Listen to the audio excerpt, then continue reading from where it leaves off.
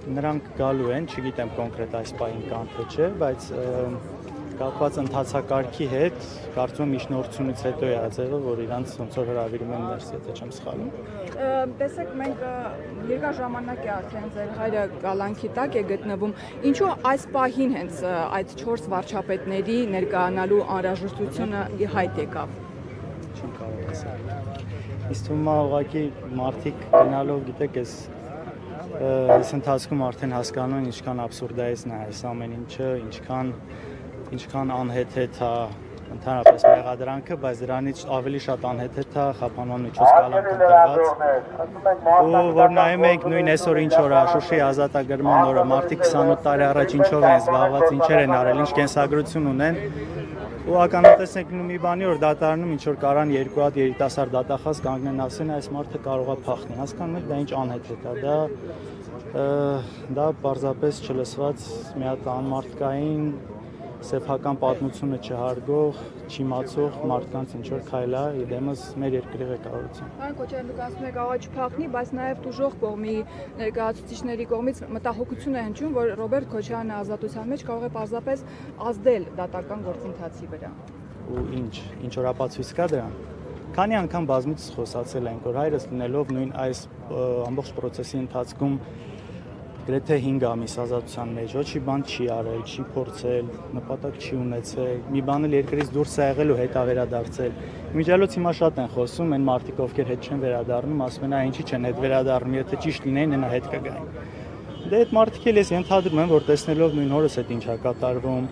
լսելով վարչապետի, ԱԱՑ-պետի, ՀՔՑ-պետի խոսակցությունները, որտեղ դատավորին ուղիղ հրահանգներ ա գնում, թե ինչ անեն,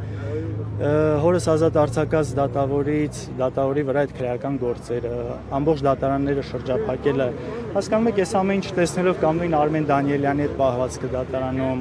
նույն Աննա Դանիբեկյանի այս անհեթեթ որոշումները, այս ամեն ինչ տեսնելով, չգիտեմ, մարդ կուզենա վերադառնա երկիր էլի, այս այս այս կարգի արդարադատության հետ բախվի։ Ամեն դեպքում ինչպիսի սպասելիքներ ունեք այսօրվա դատական նիստից։ Դե նայեք, այս ամեն ինչի ես թվեցի ինչեր ա եղել։ Այդ ամեն ինչից հետո ինչպիսի սպասելիքներ պետք է ունենալ ես չգիտեմ։ Շատ դժվար է պատկերացնել իհարկե այդ թղթի կտորի վրա ինչ պետք է գրի դատավորը, որովհետև որովհետև կարծես այլ բան չի մնացել, որից իրանք կարճ են կախվեն, բայց տեսնենք ինչ որ կգրեն մի, բան կանեն էլի։ Մամուլը գրել էր, թե Սերժ Սարգսյանը այցելել է ձեր հայրիկին, նրանք զրուցել են։ Նման բան չկա։ Իրանց իրանք էլ են ներքել, մենք էլ ենք ներքել։ Որևէ բարձրաստիճան պաշտոնյա նախկին կամ ներկայիս այցելել է ձեր հայրիկին տեղյակ եք։ Ոչ, ոչ։ Ներողություն գուցե անձնական։ Նույնիսկ կներեք, նույնիսկ եղբայրս չկարողանում այցելել իրանից, չեմ պատկերացնում ուրիշ ինչ որ մեկը ոնց պետք է այցելի։ Հիվանդանոց է ձեր հայրիկը տեղափոխվել, կորոնավիրուսի հետ կապված խնդիր կար, թե ուրիշ ազգական։ Չէ, չէ, ուրիշ խնդիր էր ինքը ամիսներ առաջ փոքրիկ վիրահատություն ա ունեցել Իզմիրյան կենտրոնում, ինքը հետ վիրահատական ստուգման կարիք ուներ, որից հետո բժիշկները որոշել են, որ պետքա տեղափոխվի եւ ստացիոնար բուժում ստանա։ Դա էլ կապված էր։ Ովքեր ներս ձեզ ներս չեն թողնում մտնեք։ Չէ, մենք որպես խնամակալ կարողանում ենք հիմա այցելել։ Չէ, ես միշտ այցելություն ունեցել եմ, ես այցելության իրավունք ունեմ, բայց հիմա նաև որպես խնամակալ